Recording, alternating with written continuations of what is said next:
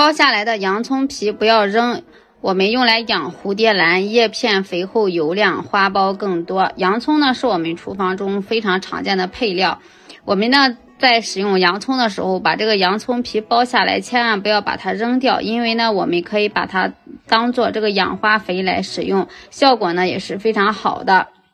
我们把这个洋葱皮收集起来之后，我们。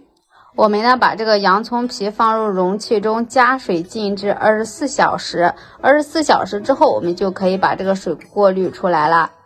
过滤出来之后，我们用这个水直接去喷洒蝴蝶兰的叶片，能让蝴蝶兰的叶片呢肥厚油亮、有光泽，起到一个杀菌、这个消毒的一个作用，还能够除虫。我们呢也可以用这个洋葱水直接的去给它灌根，能让蝴蝶兰的根系呢这个大白根啊呼呼冒，长势呢非常的旺盛，让它的花苞更多，开花呢也更多。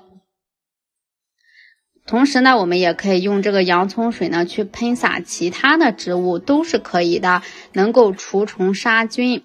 效果都是非常好，能让这个植株的花朵更加的鲜艳，能起到这个生根的这么一个作用。喜欢的花友呢，可以点个关注，咱们下期再见。